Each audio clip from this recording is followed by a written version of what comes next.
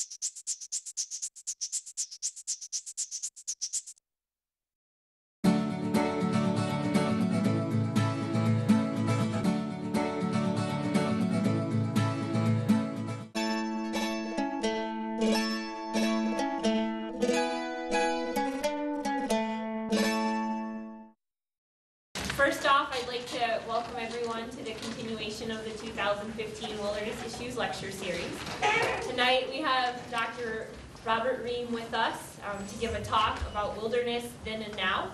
Um, But before we get started, uh, tonight, the Wilderness Institute is going to be presented with an award, and um, we have the regional for, the acting regional forester here to do that award presentation. So I'm going to go ahead and introduce um, the acting regional forester, David Schmidt. He is currently the acting regional forester for the northern region of the Forest Service. He started with the agency in the Alaska region as fisheries and watershed program leader on the Chugach National Forest, southeast of Anchorage, Alaska. He re- relocated to the Tongass National Forest as a district ranger for the Thorn Bay Ranger District on Prince of Wales Island, which is one of the islands that I showed in my talk a few weeks ago. Um, he worked as the district ranger for the Beartooth Ranger District on the Custer National Forest in south central Montana. He served as the National Fisheries Program Leader in the agency's Washington DC office prior to assuming his role in Atlanta as the Director of Biological and Physical Resources. After a new regional forester is named, he'll return as one of the region's two deputy regional foresters. And he's been with the agency cumulatively since 1982. And just so folks know, the northern region of the Forest Service is responsible for about 25 million acres of national forest system lands. 5 million of those acres are designated wilderness. And I've had the pleasure for the last several years to work with the regional office on several different projects. Um, So with that, I'll hand it over to Dave. So that biography's a whole lot more, sounds a lot more impressive than what it is, believe me.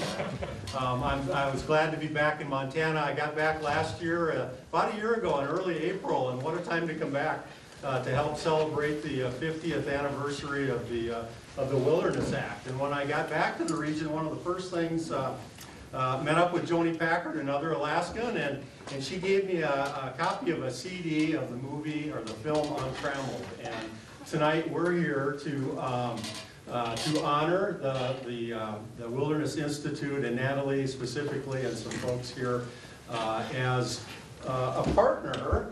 It was the regional foresters annually.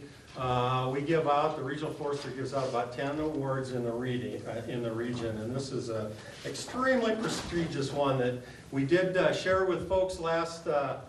Uh, October, and I, I think Natalie, you were traveling at the time, and so we looked for a great opportunity. I was looking forward to this lecture, and so I got the opportunity to come here and present this on behalf of the region and, and Faye Krueger at the time. But, um, um, and it, it is, uh, it has been an amazing partnership. Um, Natalie, I think your expertise on the Wilderness Management Act uh, in, in bringing that out in, in the, in the film and travel just helped everybody. The students, uh, I think they were in your classes, Wilderness and Civilization. Uh, I, I are there any in here that were in the movie? I haven't recognized don't any. think I was looking tonight when I came in, but uh, certainly the students uh, offered uh, a whole lot uh, to this. And, and again, this is just one of, uh, an example of many partnerships where we're working together with uh, the Institute and, and uh, uh, the university here. And so on behalf of the Forest Service, it's my pleasure to uh, present you with this award and a certificate. So thank you.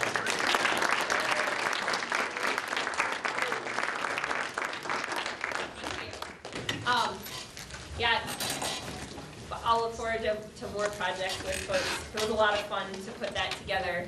And, uh, you guys should check out the movie Untrammeled and then try to pick out the folks on campus that were in the movie. And Kelsey, who's over there in the teal sweatshirt, can help you find those people on campus, because it was during her year in wilderness, and so. Great, um, all right, so continuing on with the evening's festivities, I would now like to introduce tonight's speaker. Dr. Robert Ream joined the faculty in the School of Forestry in 1969 and served for 28 years, including one year as interim dean in the College of Forestry. While there, he started the Wilderness Institute and studied the naturally recovering wolf population in the North Fork of the Flathead area. He also served in the Montana House of Representatives for 15 years and most recently chaired the Montana Fish, Wildlife, and Parks Commission from 2009 to 2013. And now going off the biological description that he gave me, I would just like to say personally that uh, since I started my tenure at the Wilderness Institute, Bob has been an incredible resource and a wonderful mentor. So it's with my pleasure that I hand over the lecture series to him for the evening. So let's welcome him. Thank you, Natalie, and uh, I attended Natalie's lecture two weeks ago and got some ideas from that uh, for talking tonight. But before I start, I want to introduce uh, three or four people uh, because I'll talk about them a little bit. First of all, Dale Harris. Uh, was the first uh, assistant director, or or I call him executive director of the Wilderness Institute way back in 1975, 74 and 75. Uh, And Ken Wall was the um, assistant director. He was in charge of the field studies programs. His wife Robin was in the second Wilderness and Civilization class, 1976, and also did a lot of the field studies. And then uh, we have one of the original faculty members, Tom Birch, from Philosophy Department. He's still teaching this semester uh, a seminar on wilderness philosophy. So um, those were some of the uh, people that helped get the Wilderness Institute started. Well, um, Natalie talked about sense of place, and I, I have to admit I'm from Wisconsin, so I couldn't resist putting this in what people think of Wisconsin. Uh, and I grew up on a small farm just outside of Milwaukee, Wisconsin. But at a very early age, I started riding the range. Uh, when I was two years old, this is our milk cow on the farm I grew up on.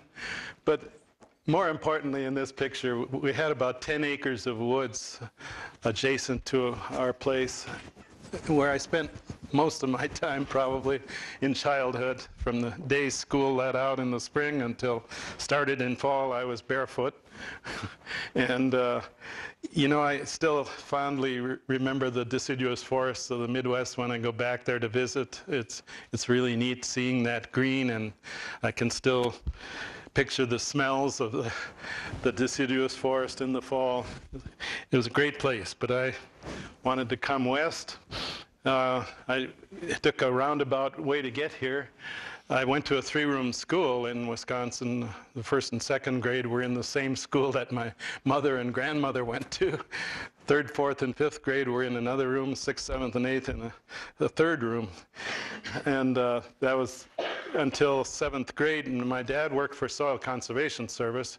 He transferred to Washington, D.C., and all of a sudden I was in a 2,000 uh, student uh, junior high in Bethesda, Maryland, which was quite a shock.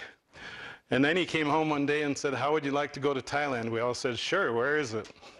Uh, we went to Thailand for two years, and uh, the first year was what I call my gap year.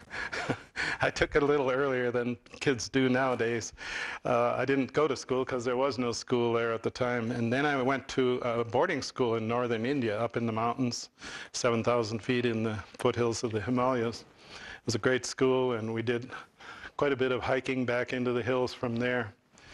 Came back to Milwaukee for a year, and then uh, my dad was transferred to the Philippines, and so I finished high school there. And last month I went to my 60th high school reunion in the Philippines. I had a great time. Anyhow, that's a little bit of background. My first, uh, I did a lot of outdoor activities, probably more outdoor activities than studying while I was at Wisconsin, but they had a real neat outdoor club. So I did rock climbing, canoeing, uh, sailing, uh, backpacking, all sorts of things. And that's where I really kind of developed an interest in wilderness and wild places. Um, my first job out of graduate school was at the University of Denver, and I did a lot of backpacking and skiing there, and also was part of the Colorado Open Space Coordinating Council Wilderness Workshop.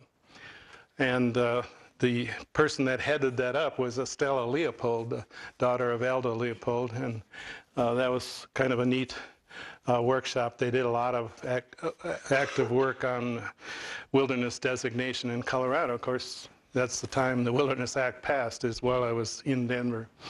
Then I had an opportunity to go back and work on a new wilderness research project for the Forest Service. I was at the North Central Forest Experiment Station. Bob Lucas, who later came to Montana, was my boss there. So I spent three years in the Boundary Waters canoe area from beginning of May until late October. Uh, uh, out in the field and we were looking at fire history, uh, describing plant communities, and the last year I was there, uh, we studied mosquitoes and black flies too. the last year I was there, I got involved with Dave Mech on the wolf research project and was there when he captured and radio-collared his first wolf. That study is still going on now, what, 47 years later. Uh, but I spent part of that winter ra radio tracking five different uh, wolf packs that had radio collars on them. Um, and then I came to the University of Montana in 69. And I came at a time when the Bolle Committee was actively involved in and working on the Bolle Committee report on forest management on the Bitterroot National Forest, which uh, became very famous or infamous, depending on how you looked at it. But uh, it was interesting time. We also had a lot going on in Montana with the Wilderness Association and the activists in that group. Uh, the Scapegoat Wilderness uh, became the first citizen-initiated wilderness area in the country, uh, passed a bill in 1973. Uh, I started doing an elk logging study down in the Sapphire Range, uh, uh, just south of town here. we radio collared a lot of uh, elk and followed their movements in relation to logging activity, uh, roads, and so on. And in 73, I started the Wolf Ecology Project. I'll come back to that, but for the first six years, it really wasn't much in the way of field research because we were just searching for evidence of any wolves in Montana. And then in 74, we started the Wilderness Institute.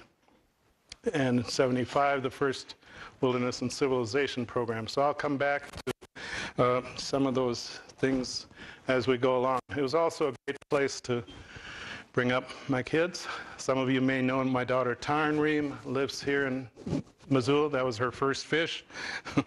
she teaches uh, African dance here at the university and uh, with private groups. My son Rolf in the middle there is a scientist with the National Marine Mammal Lab in Seattle and works up in the Pribilof Islands and the Aleutian chain. And then my son Jake on the right there is uh, at Colorado College uh, finishing up this uh, May. They were all, they are all great skiers. and, uh, you know, I used to keep ahead of them until they became six or eight years old, and then they were way past me. But uh, I've stuck with it. I think I've skied 35 days this winter so far. Well, and it's over, unfortunately, basically. And uh, like I say, I couldn't keep up with them, so last Saturday I tried something different, a little water skiing. that, was, that, was, that was at the Great Divide ski area last Saturday. I survived. Uh, Natalie wanted me to talk a little bit about the Wolf Project. It, it really was a unique project because uh, I'd been trying to find wolves for six years and finally got some support in fall of 78 to hire two biologists. And uh, in 79, Bruce McLellan, the grizzly bear researcher on the right from British Columbia, called me and said he'd been seeing a wolf up the North Fork pretty regularly and tracks of a wolf. So Joe Smith, who had experienced trapping wolves in Minnesota, was one of the biologists I hired. Went up there, and sure enough, on April 8th of 79, he captured a wolf.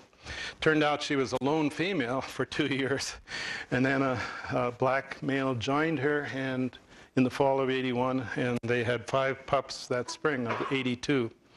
And that was the beginning of what we were to follow for the, the next uh, 10, 10 or 15 years uh, up in the North Fork of the Flathead. Beautiful place to work. Uh, That is the US-Canada border. It's not an imaginary line. There really is an area, a swath cut out all along the border there. The first wolf den was north of the border, about five miles in the valley flats up there. And uh, the, but the pack would regularly cross back and forth over the border. I don't know if they could still do that with Homeland Security, but um, in by 86, the pack was up to 12 wolves, and uh, this was way down in Sullivan Meadow, down in uh, Glacier Park. And that spring, two females in the pack bred, the original female and another one. And the original female continued to use the den north of the border, but the other female uh, denned uh, south of the border in Glacier National Park. And the population continued to increase from there. Uh, As you see, uh, 96 uh, kind of leveled off there, and I think has leveled off a number of places. Uh, This map is not just our study. Ours would be up, way up near the Canadian border there, but it just shows uh, that about uh, 10% of the wolves in any pack over a period of time do disperse, particularly when they come up to breeding age, which is almost two years old. They take off and sometimes travel very long distances in a very short period of time. There are two long ones that aren't even on this map. We had one that went 550 miles north into Alberta from the North Fork of the Flathead there on the border, way up into the Peace River country in Alberta. And you probably read recently where a wolf from Wyoming that was radio collared ended up on the north rim of the Grand Canyon. So they're capable of these very long movements. I think that one of these days we'll end up with wolf packs, perhaps in the Wasatch Mountains in Utah or down in Colorado. All it, all it takes is two to tango, and they take off from there. Uh, this is roughly the distribution of, this was 2012, but it's pretty much the same today, uh, distribution of packs in Montana.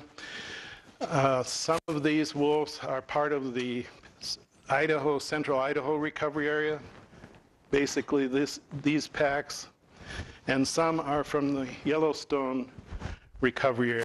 Those are a result of reintroductions into central Idaho in 1995 and 96, and the same with Yellowstone reintroduction. But what a lot of people don't realize in Montana is that two-thirds of our wolves are from that original natural recovery, not reintroduction. You hear everybody complaining about these giant, ravenous, uh, diseased wolves brought down from Canada that were reintroduced into Montana.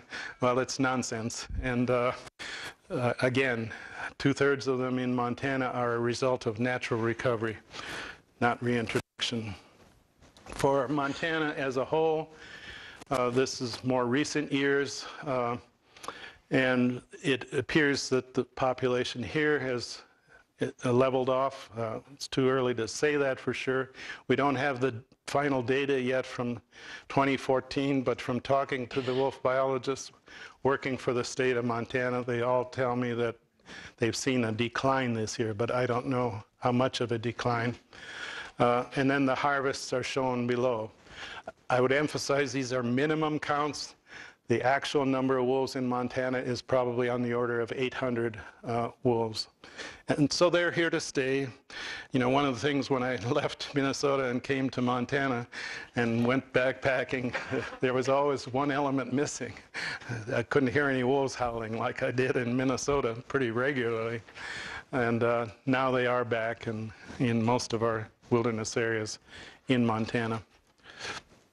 Okay, switching gears a little bit, back to the very start of the Wilderness Institute. Um, I put together a meeting in spring of 1974, and uh, Bob Lucas, who had been my boss in Minnesota, uh, he and George Stankey were in the research lab here on campus. Uh, the uh, they headed up the Wilderness Research Project. But we invited a lot of people, people from diverse backgrounds, uh, conservationists, uh, Forest Service people. I think I left off, there was one BLM person there, Cliff Martinka, came down from Glacier. Uh, so a pretty diverse group of people. We met up at Lubrecht Forest, and uh, generally people agreed, yeah, we ought to we ought to form a wilderness institute. It's a great place to do it with the resources that we have, uh, with the research project, with Region One of the Forest Service being here, um, and a supportive dean. Um, Dean, Wambach was the dean at that time, closely following uh, behind Arnold Bolle. Uh, I might mention also, and Thurman Trosper was on the board of the Wilderness Society, the national organization, but he also is a me- member of the uh, Confederated, Confederated Salish Kootenai tribes, and uh, he was a valuable addition.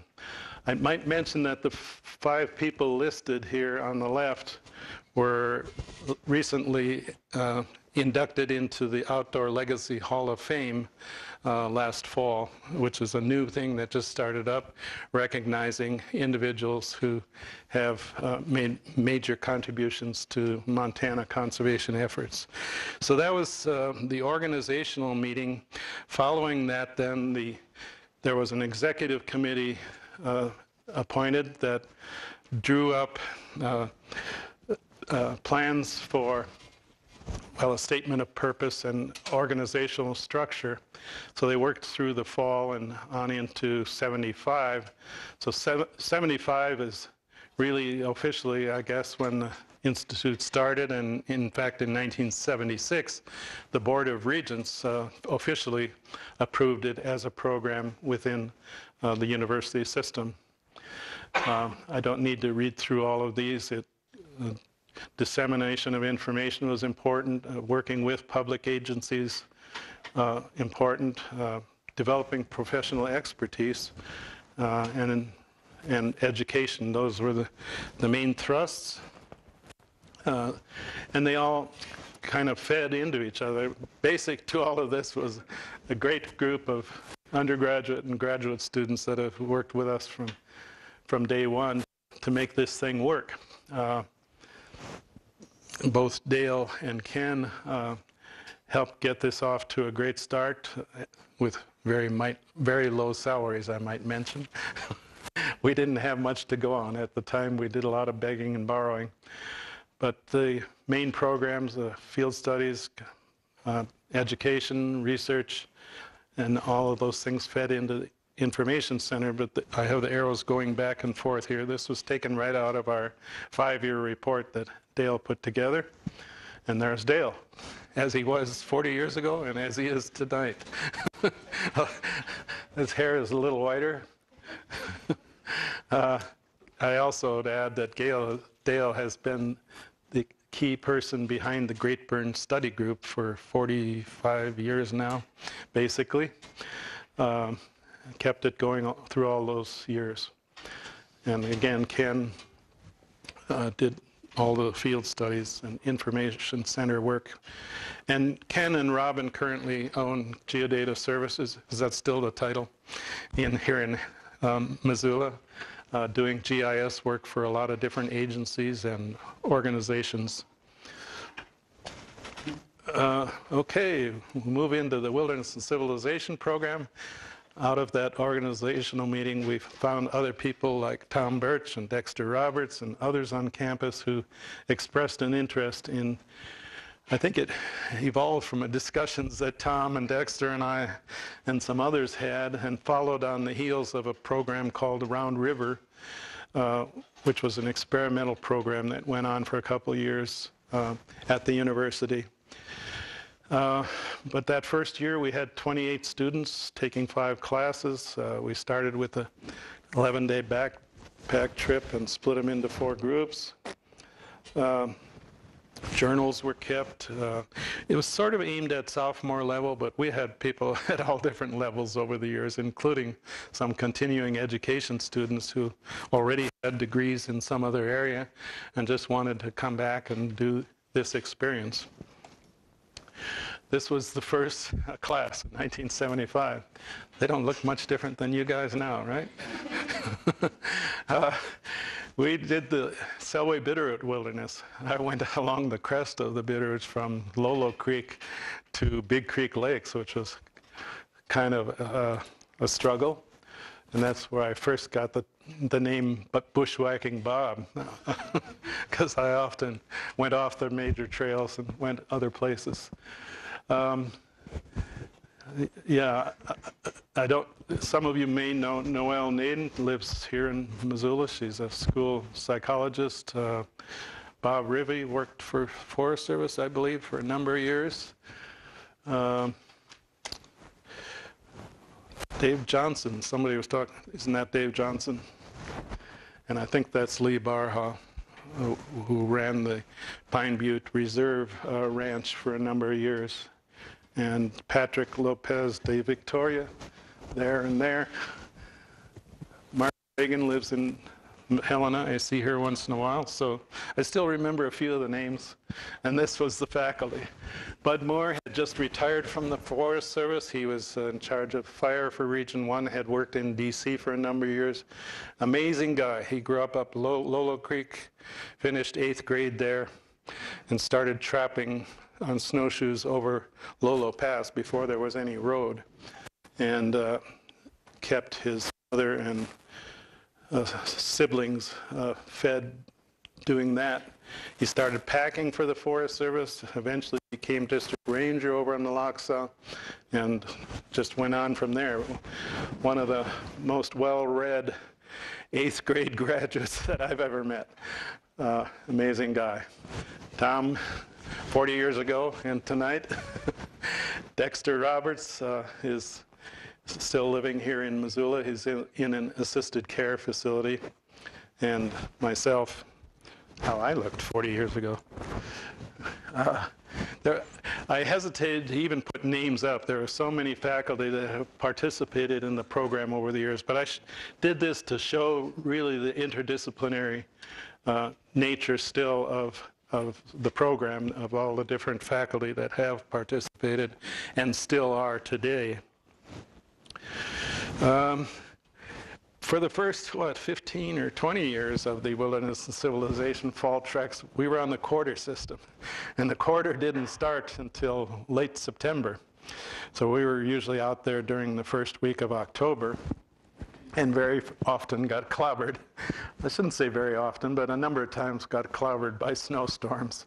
And when we were from then on, uh, those early couple years on, we uh, used the Rocky Mountain front, both outside, uh, in fact, mainly outside the wilderness, actual designated wilderness. There's that ban, well, now most of it is in wilderness as a result of the Rocky Mountain Front Heritage Act last fall.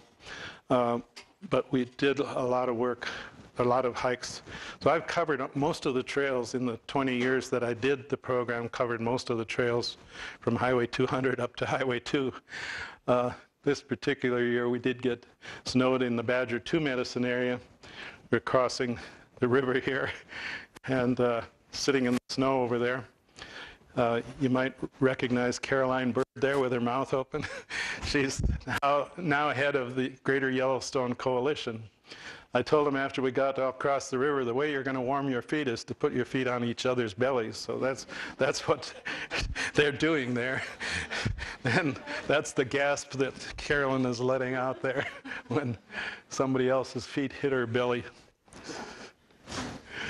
Uh, one of the first projects we got involved in, Senator Metcalf had requested that the forestry school do a study of the areas in the Senate Bill 393, which was called the Montana Wilderness Study Act. So uh, Dean Wambach and a group uh, studied the uh, timber resources in there and made some estimates of what the value of that resource was in each of those areas. But in the Wilderness Institute, we provided a lot of students to go out and look at the areas on the ground, examine the boundaries, uh, look at the wilderness characteristics, record any other information on resources in the area. And uh, this, uh, at that time, 1974, there was a lot of, uh, what should I say, anxiety, I guess, about the original roadless area review and evaluation. That's what RARE is there, uh, done by the Forest Service. A lot of people felt that they failed to recognize many of the roadless areas that were out there, and uh, they did it on district, ranger district boundaries, so if there was an adjacent district that uh, had part of a roadless area, they didn't really, often didn't recognize it as the same roadless area. So anyhow, that's partly why Senator Metcalf uh, was convinced to introduce this Wilderness Study Act uh, for nine of those areas. Uh, so, in fact, in 1974, we had a couple of teams out in Middle Fork of Judith and I think in the Taylor Hilgard area. And uh, 75, some more uh, students were out there. That bill did uh, pass eventually. These are the, the nine areas. Uh, one of them, the Taylor Hilgard, became part of the Lee Metcalf Wilderness. And so that's no longer a wilderness study area. And the other one, the Elkhorns, in a separate piece of legislation, is a special management area, uh, no longer a wilderness study area. The other seven still are. Um, there were challenges when some of those areas were uh, the Forest Service wanted to develop them. The MWA, Montana Wilderness Association, uh, filed a lawsuit, I think, in 96, and uh, it was upheld, I think, by the Ninth Circuit. Uh, so they are all seven of those still wilderness study areas. And they covered from east to west. Uh, the- one of the mountain ranges out in the prairies, the Big Snowies, right near Lewistown, Montana, to the northwest, uh, very different habitats.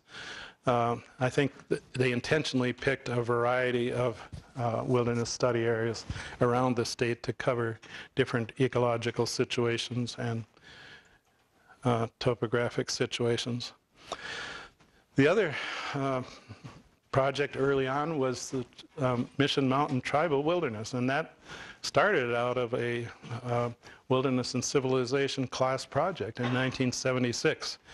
And Thurman Trosper, who I mentioned earlier, came down uh, from the Flathead where he lived up near Ronan, came down and met with the class several times, and they uh, then initiated uh, a study of the boundaries. Well, I might back up a little bit. Um, Bob Marshall in 1937, the, he, he lived here in uh, Missoula at that time, worked out of the federal building, and he was pretty uh, uh, free and easy with the pen, I guess. he designated primitive areas all over the place, including uh, in the Mission Mountains, but he lapped over onto the tribal side of the Mission Mountains as well. Uh, called it a primitive area, but that was removed in 1959.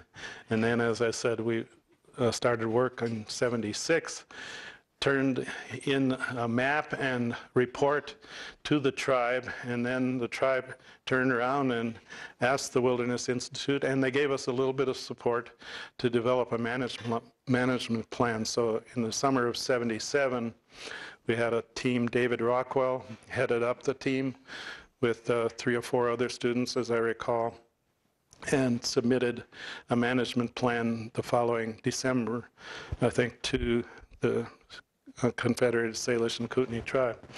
And in 79, the tribe did designate it as a tribal wilderness and uh, basically uh, left the boundaries pretty much intact, a couple minor changes. And then they hired subsequently a wilderness ranger for the area. This was the proposal that was turned in to the tribe. Oh, I have June 78 there. I guess I was wrong. Anyhow, it's a fairly substantial report, and they spent a lot of time documenting all the trails, uh, campsites, uh, the students that were out there that summer of 77. And because there was there was no management like on Forest Service trails. There were just some of the trails were really obscure, very difficult to get up. Um, But they do uh, manage now as a tribal wilderness, uh, the first one in the country, and I believe still the only tribal wilderness in the country.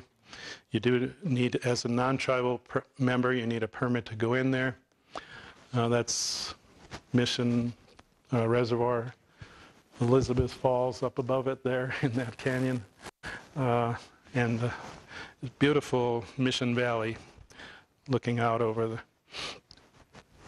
In 1976, uh, uh, President Carter was elected in 76 till 80, and he really pushed. There had been a lot of work done to develop a Federal Land Policy Management Act, and he helped push to get that done in 1976.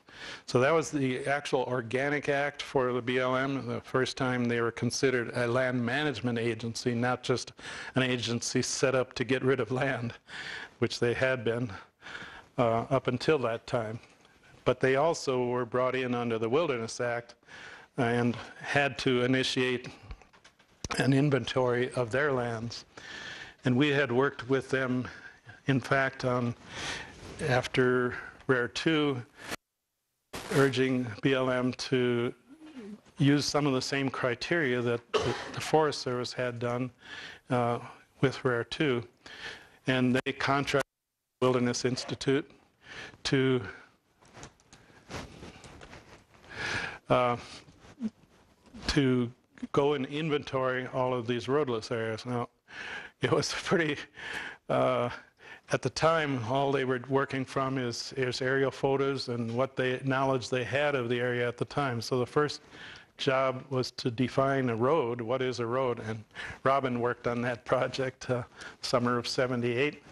Uh, were, you know, just two-wheel tracks through the, across the prairie, is that a road or not? So all of these issues came up in the process of doing that. And this was the first one in the country, by the way, first BLM inventory of roadless areas. Then they mapped the roadless areas and uh, described the wilderness characteristics.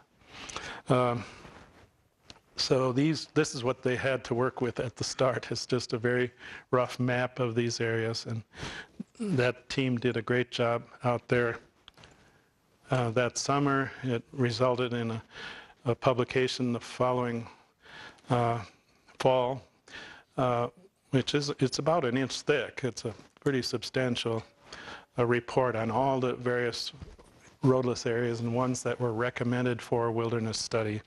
And Ken was the lead author on that, along with the field team. We also did a project for the BLM on the Great Rift Primitive Area in Idaho.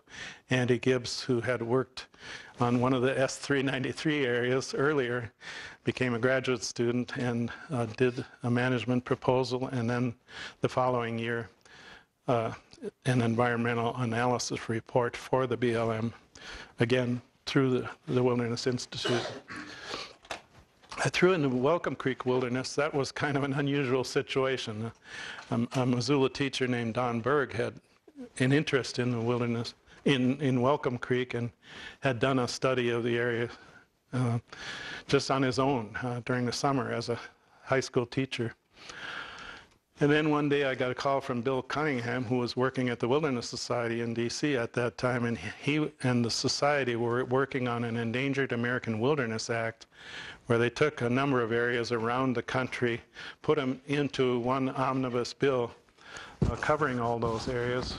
And he um, wanted to, he knew about Welcome Creek, and he knew that I had been doing the elk study down there earlier, and uh, so he asked me to draw the boundaries of that area, which I did, and subsequently went in that way. Uh, one of the things they were doing is looking at areas that had been ignored or kind of gone over through the Rare 2 process, and uh, this uh, Welcome Creek was was one of those. It also inclu- included there was I think eight or nine miles of road that was built into the area with hard money, um, that is allocated, appropriated money for the Forest Service.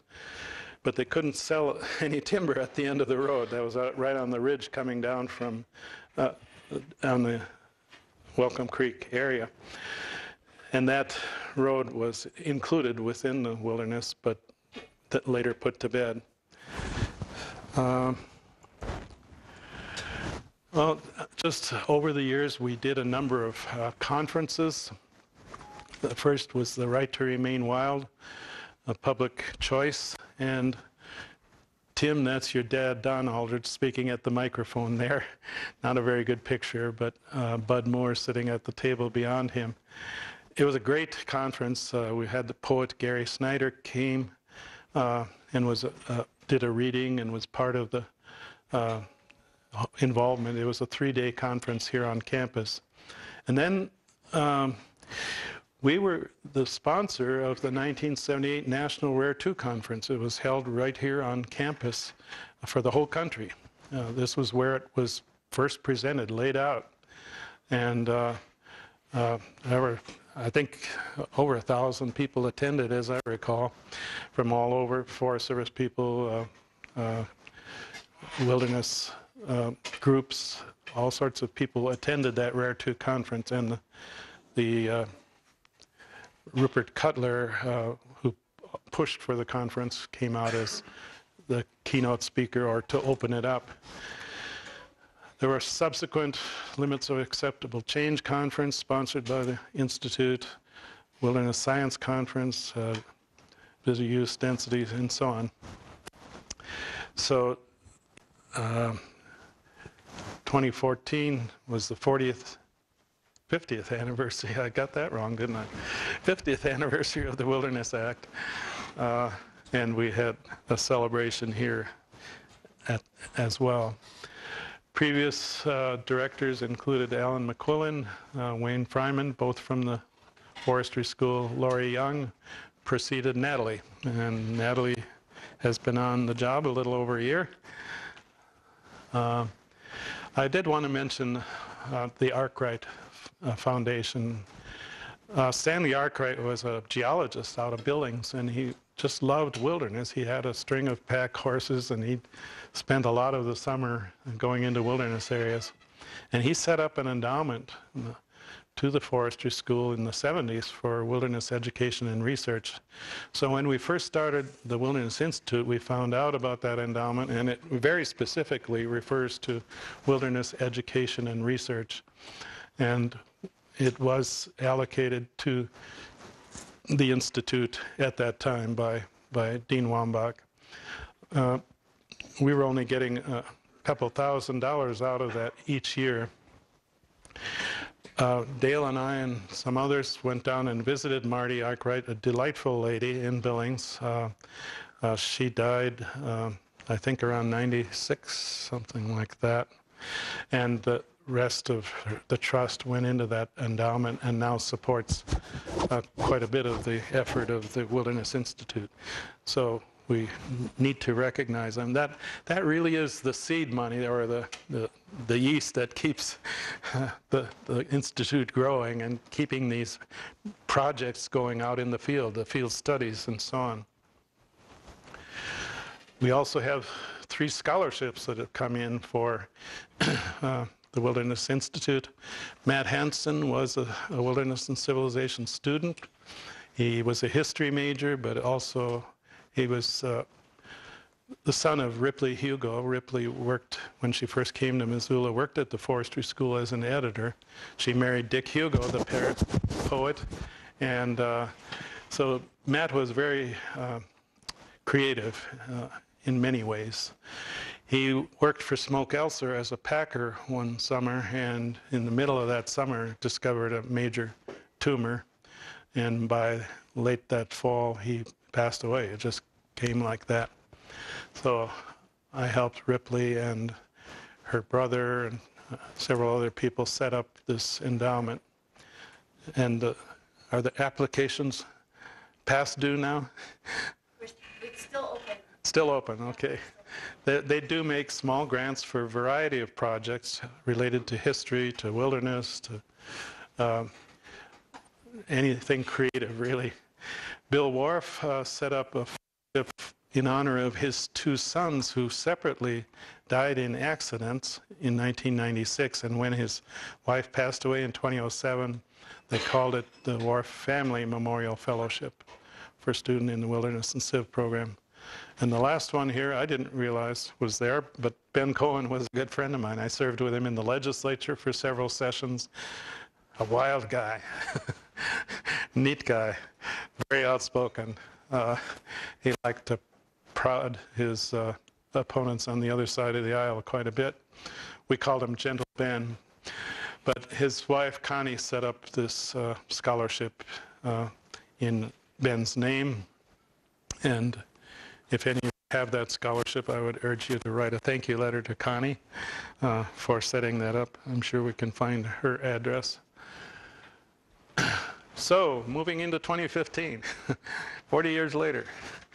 Basically, the mission is the same. We can frame it in different words, different ways, but uh, I, I've spent two, almost two full days at the Wilderness Institute in the last couple of weeks digging through old files, and thank goodness they have a lot of the original files, and it was fascinating looking at them. I got carried away going in different directions, looking at them and looking at all the students that I had worked with in the past, and it's pretty neat doing that. And in the process, I also could see what a beehive of activity these two have going up there in the Wilderness Institute office. They're on the top floor of Main Hall. It's a it's a ma- major hike to get up there. Four floors. So, Nat- Natalie is the director, and Rachel is the best supporting actress in this in this picture, anyhow. But I have one more picture of Nat- of uh, Rachel, and she's also a mom, which is pretty neat. One of the biggest services you can do for mankind, right? Um, so again, it's going strong. Uh, next fall will be the 40th year for Wilderness and Civilization. Uh, they're doing a lot of work, as you've heard, working with agencies and, and the public on studies of wilderness and wilderness study areas, outreach programs, uh, training. Again, the same model as 40 years ago. Some of you might recognize this picture. a lot of the class of this year is, is here in the room, I think. Um, they trekked on the Rocky Mountain front last, last fall. We have quite a, a variety of faculty involved. Again, a pretty diverse interdisciplinary group, including art, English, uh, and those are the faculty for this year. Since 1975, we estimate that somewhere between 900 and 1,000 students have gone through the Wilderness and Civilization program, which is pretty amazing. Uh, I was involved the first half of that 40 years, I guess. I think I did 20 of the fall treks, covered, I think, around 1,500 miles total over that time. But the thing I keep hearing over and over from people who've been through the program in the past is how it was really a life-changing experience for them. And you know, I don't know all the reasons why. We can speculate, I guess, but part of it is the interdisciplinary approach because when you're in a particular major and you just stay with those folks, you're in a mindset that uh, goes with that group. And by spreading it out to majors from all different disciplines, it's, it's pretty neat.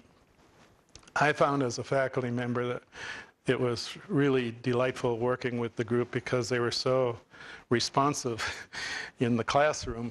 Uh, after having been out, and what I discovered is, you know, very often students are, are afraid to speak up in a classroom. And I always thought it was, well, they were afraid to talk because of the, the professor up in the front of the room. But I've realized over the years that it's not the professor, it's their peers. You're, you're afraid of speaking up because you look dumb to your peers if you say something. That disappeared in the Wilderness Civ program, right? You agree? Yeah. Anyhow, that's my take on it. Uh, there have been some outstanding uh, people that have gone on and won awards, Truman scholarships, uh, um, fellowships, uh, uh, a number of others, right? Uh, and they've gone on to many diverse occupations, uh, which is which is pretty neat also. In fact, chief CEO of uh, Northwestern Energy went through the Wilderness Civilization program. Bob Rowe met his wife Melanie in the program, and Bob is now the CEO at Northwestern Energy. Uh, Mike Menahan is a judge in Helena. His daughter Mara, some of you know, uh, went through the program a couple years ago. Um, kind of neat to see that. Looking back, uh, the citizen science program uh, is going strong, and they just found out the week before last that they got a grant from the National Forest Foundation to carry on the work uh, uh, assessing on the ground um, programs out in wilderness areas or wilderness study areas. Uh, They will have summer field studies going in the Absaroka Beartooth, but more, more interesting to me was uh, BLM. Again, contracting 40 years late, oh, well, whatever it is, 39 years later, to go back and look at some of the wilderness study areas in Montana, two in the Missoula District and five out in the upper Missouri River breaks. Um, So that'll be interesting to see, um, to kind of go back and look at those areas again. Maybe you'll have to join them again, Robin. There's a distance education program also. Uh, we can take classes online. Uh, and then the Wilderness Information Network in cooperation with the Carhart Center and the Leopold uh, Wilderness Research Institute. Uh, and Lisa Ronald, is that right? Yeah, works uh, through both, as I understand it, a split appointment with Wilderness Institute and, and the Forest Service. For the first time uh, last year, uh, Natalie and Rachel put together a freshman experience, which involved uh, advertising to incoming freshmen a four-day backpack trip in wilderness areas around uh, Montana uh, before they start their first classes. And 62 people went through that freshman experience program, and 14 uh, undergrads who had been through wilderness and civilization were their guides. So it's kind of neat that they were able to interact with people who were a little farther along. But it, for those who took it, it was a great experience. I think it's a great program, a great tool for University of Montana to attract students and to retain students because they get tied into the, program and into the state and the university. I keep hitting the wrong button here. Future. There's still wilderness study areas that need to be studied to determine whether or not they're wilderness. We were the, I think, the only state that did not have a statewide wilderness bill. Uh, I- Idaho also? Yeah. Okay. But they did act on a number of wilderness areas in Idaho. Anyhow, we did not, a lot of states after Rare 2 had uh, a state wilderness bill where they took all of the Rare 2 recommended wilderness areas and passed them in one bill. We did not have that. And so we went through a long period without getting any new uh, designations in Montana. I think the human values of wilderness are only going to increase with time, and we need wilderness areas as a barometer to civilization. Now, climate change. I have to talk about climate change. I can't help it. I've been giving talks on climate change and wildlife, and uh, it's this is really serious. And uh, the picture on the left there shows Grinnell Glacier, taken in July, middle of July, 1936. You can see it was an active moving glacier with crevasses. And on the right is uh, what it looked like in 2014. And there's a tarn, a tarn lake. My daughter's named Tarn. Uh, the interesting thing, dramatic thing to me about this, this picture on the left was taken 17 days before I was born. So this is what's happened in my lifetime. And most of it probably in the last 20 or 30 years. So we have 25 out of 150 glaciers remaining in Glacier National Park. You've all heard about that. There's been a lot out lately. The National Climate Assessment came out last May. The IPCC report in September came out, and there was a lot of media attention to this nationwide because the scientists around the world have expressed very grave concern about what's going on. This shows just uh, temperature changes that have happened since uh, 1900. And I put this in to show it's the geographic variability. It's not uniform throughout the world, uh, more prominent at higher latitudes. You've all probably seen the relationship between temperature and carbon dioxide concentrations. I put this in to show the, the curve is that tail end out there from 1958 on, meas- actual measured CO2 in the atmosphere at Mauna Loa Observatory. Going back from there, they've taken ice core samples from Antarctica, Greenland, uh, and finding the bubbles in there, they could assess the CO2 concentrations going way, way back. They also, because of different isotopes of carbon, they know what carbon is due to uh, human-caused fossil fuel emissions. What isn't. So the climate deniers, well, here again, this is when I was born. That's how much change there's been in my lifetime. And I hope to be around a while longer. Uh, This is a 33% increase just in those years, which is pretty dramatic. Well, the climate deniers say, well, this is just part of a natural cycle, that we've always had natural cycles, and sure enough, they're right. About every 100,000 years, you have a rise in CO2 level, but in 800,000 years, it never got above 300 parts per million, and the day before yesterday, it was 403 parts per million of CO2. That huge spike that you see way over on the right is kind of because it's jammed down into this 800,000 year uh, graph. It's just a straight line going up. This is if you don't remember anything else from this lecture, remember this slide. 800,000 years, never went above 300 parts per million. Now we're at 403. And again, I told you that could separate out man-caused uh, from natural background factors. A lot of modeling has been done from the IPCC report. This latest model shows that if we rapidly reduce emissions starting now, we could keep the uh, temperature increase, hold it at about 2.6 degrees uh, Fahrenheit.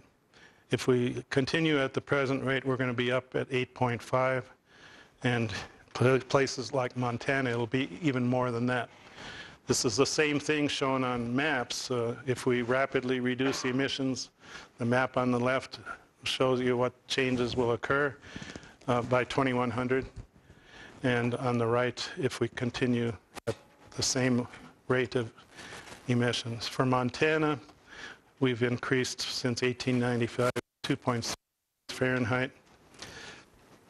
And again, there are geographic differences within Montana, but the surprising thing to me, and the climate office here on campus ran off data for me by month for Montana, dramatic increase in January and March, 9.1 degrees in January, 8.4 degrees in March, uh, since from 1948 up to 2012. This is going to have major ecological significance. Uh, it, and it certainly does for wildlife in particular. When you get winter melts uh, with a snowpack, a good snowpack in December, it makes it very difficult for animals to get around. We're going to see increases in fire. Uh, Steve Running put out this publication in Science showing the increases in fire over time. So we are going to see changes in in our wilderness areas, whether we like it or not. I sound pretty pessimistic, but there are some good signs around the world. I think the China agreement last fall was very significant, even though many would argue it didn't go far enough. Uh, the, there are more and more people installing solar cells now on their houses ar- in, around Montana. I see them in Helena, I see them in Missoula. Uh, in developing countries, it's really the way to go. You can't build fossil fuel uh, transmission lines and generating plants. In fact, when I was in the Philippines, there's 7,000 islands in the Philippines with people living on most of them, and you just can't distribute electricity. But the good thing was I saw a number of uh, wind turbines there and a number of places, resorts and, and houses with uh, solar installation, which great place for it. Plenty of sunshine there and uh, prevailing winds. Last year, there were 162 countries had events uh, related to climate change. Lima, Peru, uh, Philippines, Cebu City, uh, in New Delhi, and 400,000 people turned out in New York City. So what that means, hopefully, is this. If the people lead, eventually the leaders will follow. Unfortunately, we have too many politicians who don't believe that it's either not happening or they don't believe that um, human burning of fossil fuels has anything to do with it. The picture on the left shows flooding on the Thames River just outside of London last year, almost exactly a year ago. Uh, two of our members of Congress fit in that category of non-believers. Future of the Wilderness Institute, again, I think the value of wilderness areas is going to increase. I think it's important to keep the Institute going. We have an increasingly complex world, and our interdisciplinary approach is valuable.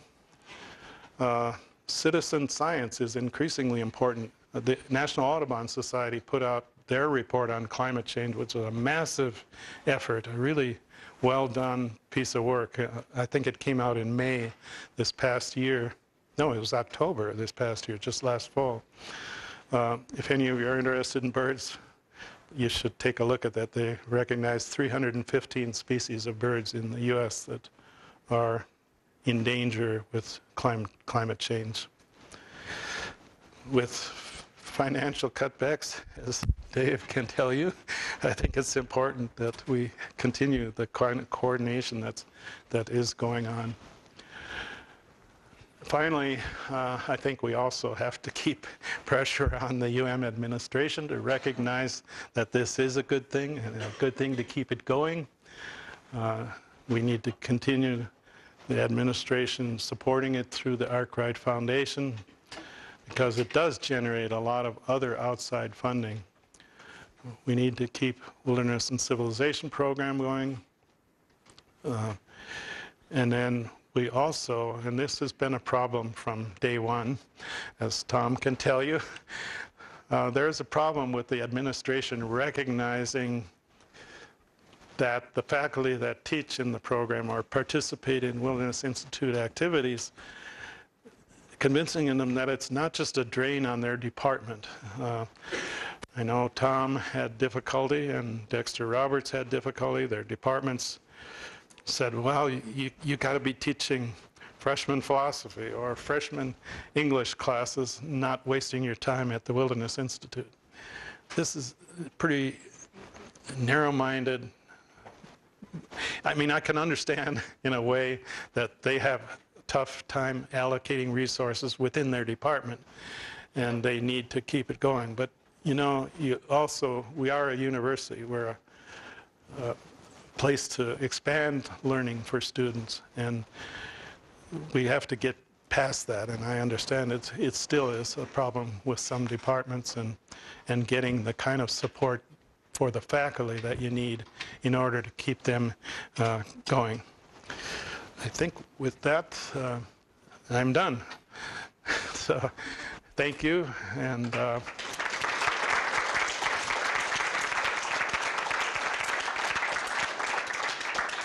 I raced through that kind of quickly. I didn't know how many slides I had. Uh, any questions? Anybody Have any questions? Historical or otherwise? Yes? Looking back on your career and how much you've accomplished, um, what advice would you give to yourself when you were just starting out on your career? Or Wow, it's a, it's a, that's an interesting question uh, for me, because as you probably saw, I took different twists and turns along the way. Um, I got involved in politics and served in the legislature for eight sessions in the Montana legislature. And I'm, you know, I'm, in some ways, I'm really proud of the service I did there, and I got a lot done. Um, So I, I kind of, in my own mind, draw this equivalency between any bill that I sponsored and a publication in the scientific arena as one and the same. I've sponsored Montana Stream Access Law, which is now, and it's, the- this is the 30th year since passage of the Montana Stream Access Law, Montana Superfund Law, just lots of other things I was pretty involved in in the legislature. But your question is, what advice do I have for somebody starting out? Um, you have to pursue your dream, I guess. What, and your dream doesn't always maybe match the job market, but uh, I've seen a lot of dedicated people who uh, have stuck with it and stuck with it, and finally ended up working uh, in the field they want to. Uh, I know, you know, a lot. Park Service was very difficult to get jobs for many, many years, and I know people that worked for years and years as temporaries with the Park Service, and finally uh, got on later on. Uh, it's tough. Uh, I I think no matter what you do, I think it's important to be involved in as a citizen. A citizen is your f- first responsibility. Uh, vote. uh, get involved locally with groups that are pursuing the interests you have. I don't know, did I get anywhere near your question? Any other questions? Maybe David, you can offer them all jobs, right? Any others? If not, thank you.